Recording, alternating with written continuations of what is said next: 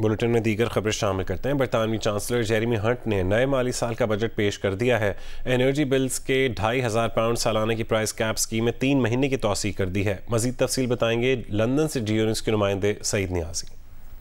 Chancellor Jeremy Hunt ने आइंदा माली साल के लिए पार्लियामेंट में बजट पेश करते हुए एनर्जी बिल्स के सालाना औसत बिल के अढ़ाई हज़ार पाउंड के प्राइस कैप में तीन माह की तोसी कर दी। काम करने वाले वालदेन को चाइल्ड केयर की मद में तीस घंटे फ़ी हफ़्ता के अखराज अदा करने का ऐलान किया।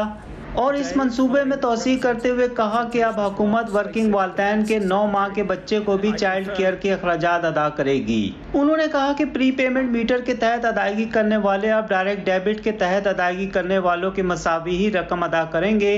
बरतानिया रवा बरस तकनीकी तौर पर कसाद बाजारी से महफूज रहेगा और महँगाई की शरह में भी निस्ब से जायद कमी के साथ दो अशारिया नौ फ़ीसद पर आने की तो है। जेरमी हट ने फ्यूल पर ड्यूटी को एक बरस के लिए और अल्कोहल पर ड्यूटी को छह माह के लिए मुंजमद करने का ऐलान भी किया। कॉरपोरेशन टैक्स 19 से 25 फ़ीसद हो जाएगा, जबकि पेंशन के लिए सालाना टैक्स फ्री अलाउंस की हद चालीस हज़ार से बढ़ाकर साठ हज़ार करने और लाइफ टाइम अलाउंस की हद खत्म करने का ऐलान भी किया। उन्होंने कहा कि मीशत आइंदा बरस एक अशारिया आठ और दो हज़ार पच्चीस में दो अशारिया पाँच फ़ीसद तरक्की करेगी। दिफाई बजट में आइंदा पाँच बरसों में ग्यारह बिलियन पाउंड खर्च किए जाएँगे। उन्होंने मुल्क में बारह नए इन्वेस्टमेंट जोन बनाने का ऐलान भी किया।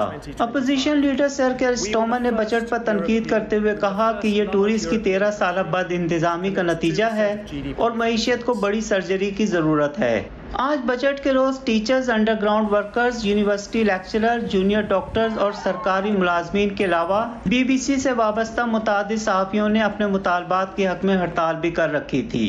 कैमरा मैन नसीर अहमद के साथ सईद न्यासी, जियो न्यूज़, लंदन।